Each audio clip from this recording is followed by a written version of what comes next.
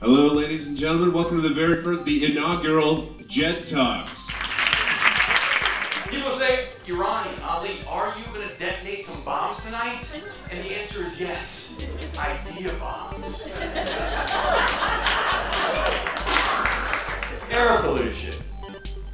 It's disgusting. I find that books are, are best used when you put them on a shelf so that you can impress people with what books you've read.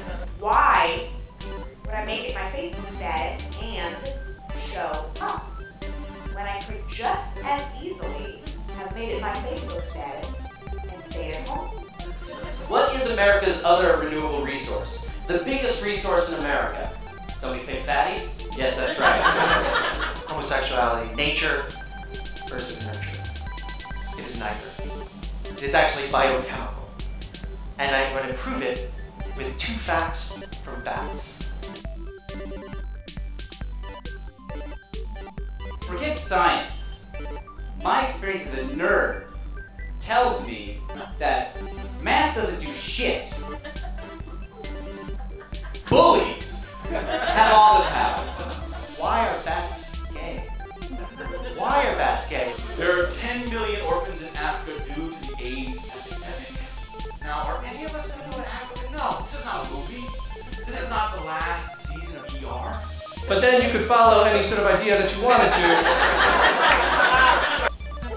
This friendly little guy cooks for you, then films you eating it. A must for any food blogger.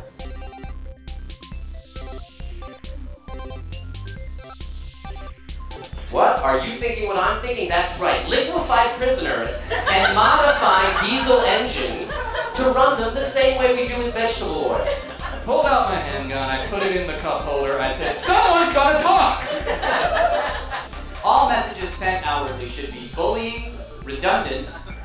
Obnoxious.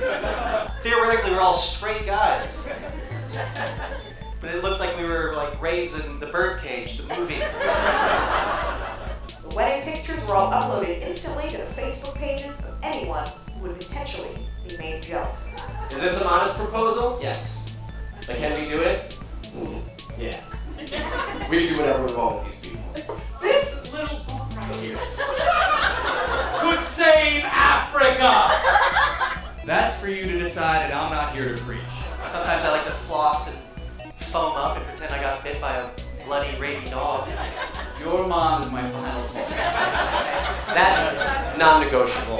This is not enough. This guy is not enough. My love isn't here. It's just two words kind of shoved together.